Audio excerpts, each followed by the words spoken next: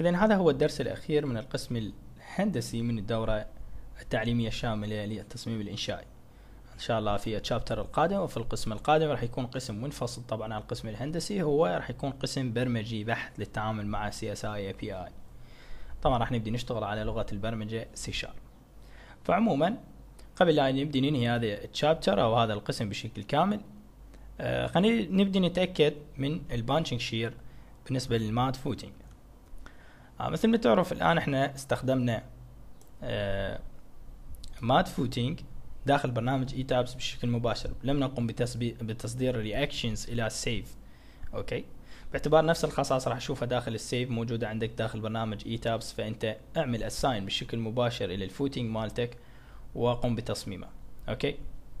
فطبعا بعد عملية التصميم راح أشوف عندك في هنا في ال concrete slab design عمليات check آه بعد ما تعمل start design and check طبعا يمكن إنه check على ال punching shear وال punching shear مؤشر يؤشر لك إلى ال thickness يعني يمكن check من خلاله على ال thickness مالتك. اذا هنا على العرض أو design concrete slab design اعمل لي check على ال punching shear راح أشوف عندك أكثر القيم وأكثر من واحد طبعا. okay؟ اذا تحتاج إنه تزيد click يمين عليه طبعا على النقطة المعنية راح يعطيك التفاصيل الخاصة في ال punching shear okay؟ الآن ال average effective slab هو هذا مقداره 567 ملم وال punching shear ال perimeter مالتك هو 4268 ال cover مالتك 33 okay؟ وال strength المستخدمة هنا 27 ميجا باسكال في الأساس هي ليس 27 هي آه yep. هي 4000 PSI صح؟ 27 ميجا باسكال 4000 PSI okay؟ ال section inertia هنا عندك هذا مقدارة بالاتجاه I 22 I 33 وأيضا بال I 23 بنفس الوقت. الجاما هنا هذه مقدارها في ال V 2 وال V 3 وال moments آه، اثنين و moment ثلاثة هذا مقدارة وال shear force هذا مقدارة. التفاصيل كاملة خاصة في ال punching shear. ومقدار ال punching shear ratio يعني التفاصيل النهائية وال capacity shear stress capacity اللي موجودة 1.31 ميجا باسكال. okay؟ اذا خلينا نبدي نزيد آه، مقدار ال thickness مالتنا. نقول define section properties slab section mat footing. الان هو خمسين بالأساس كان هذا خمسين. آه نبدي نزوده ونخليه بمقدار كم؟ بمقدار ثمانين. اذا نخليه بمقدار ثمانمية مبدئيا الآن. قل له okay. ثم بعد ذلك okay. طبعا هل إنه تقدر إنه تعمل auto select لهذه التفاصيل. في الأساس هو ال auto select يطبق على ال frame وليس على يعني هذه الخاصية ليست متاحة حاليا بالنسبة لل slab okay؟ إلى هنا okay. يعني في الأساس على إيش يبدي يعتمد؟ إحنا اعتمدنا على ال punching shear ممكن تعتمد على ال deflection بهذه التفاصيل. قلنا هنا start design ونبدي نعيد العملية حتى نبدي نتأكد من ال punching shear قبل أن نتجه إلى ال detailing إحنا تكلمنا عن ال detailing كيفية detailing مجرد أنه أنت تفتح برنامج CSI Detail تحفظ نتائجك. البرنامج راح يبدي بعمل export أو تصدير للنتائج إلى برنامج CSI Detail حتى تبدأ تضبط ال detail الخاص فيك يبدي بعرضها والتعديل عليها فيما بعد. فنقول هنا design concrete slab design start design ونرجع مرة أخرى على design راح نقول له ال punching shear.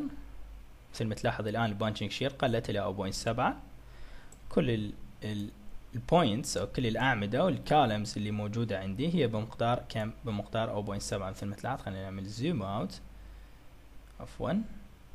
كلها بمقدار 0.7 okay؟ كلها هنا كتر الأس. طبعا يمكن تحدث عندك بعض المشاكل. لما إحنا عملنا start design and check فا okay يعني نتائج التحليل هي مضمنة عندنا بال strip design method آه لكن ربما إنه تحدث مشاكل باعتبار إنه strip design method مطبقة عندك آه على بعض ال elements وعلى بعضها لم تطبق. okay؟ أو بسبب ال mat footing ممكن تحدث مشاكل في ال CSI Detail خلينا نبدأ نفتح برنامج ال CSI Detail ونقوم باستيراد البيانات. نشاهد فيما إذا كانت يعني راح تكون عندنا مشكلة أو لا قل open لكن كنتائج الآن من strip design method هي واضحة جدا. قل هنا new open EDB file هذا هو ال project الخاص فينا قل هنا open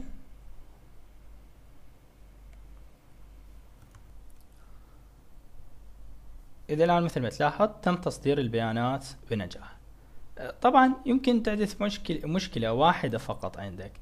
آه، لما تقوم في تصميم لما تقوم بتصميم ال footing لما تظهر عندك ال punching shear يعني أكثر من واحد okay؟ بالنسبة لهذه هنا يعني بالأساس. آه يمكن إنه تحدث عندك مشاكل في ال detailing يعني ما ما, يبدي يعرض لك نتائج ال detail بالنسبة لل slab لأن لأن يتعرف على أساس إنه ال punching shear آه هنا أكبر من واحد.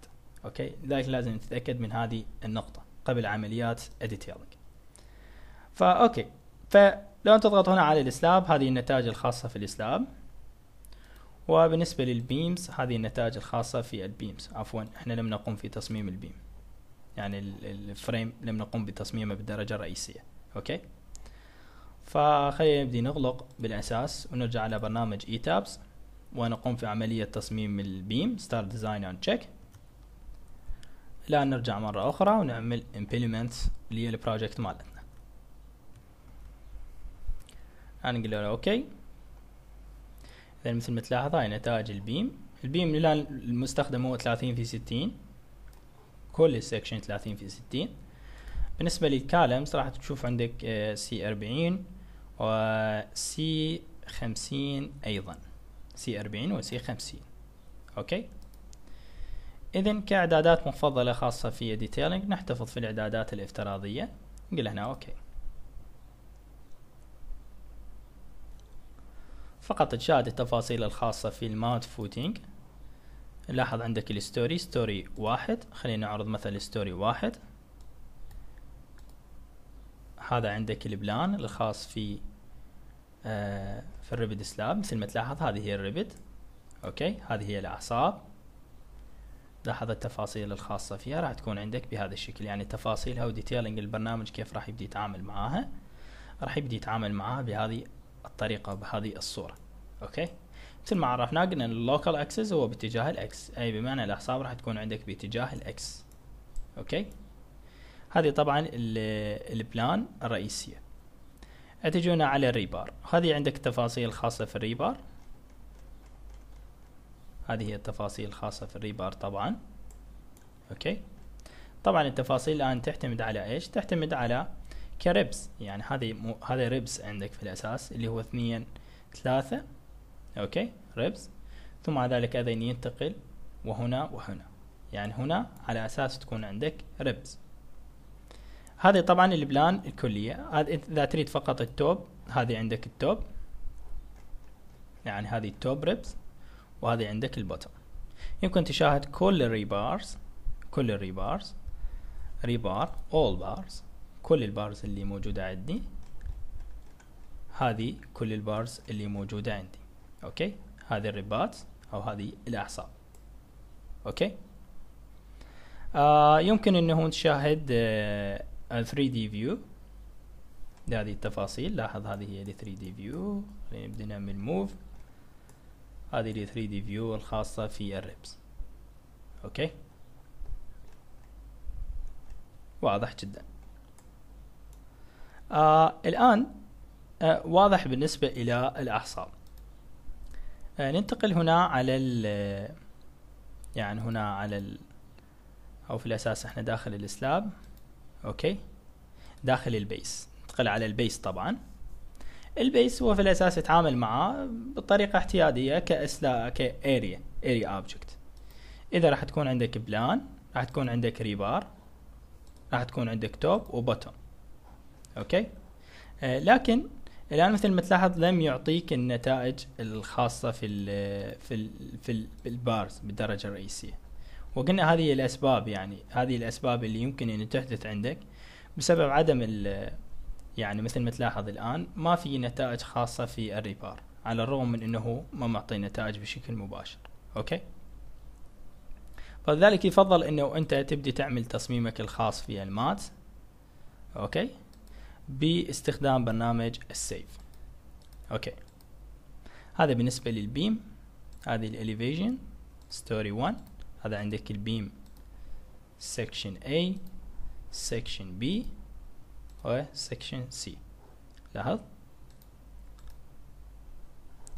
إذا إلى هنا فإحنا انتهينا من القسم الهندسي الخاص في هذه الدورة. ونلتقيكم في القسم البرمجي.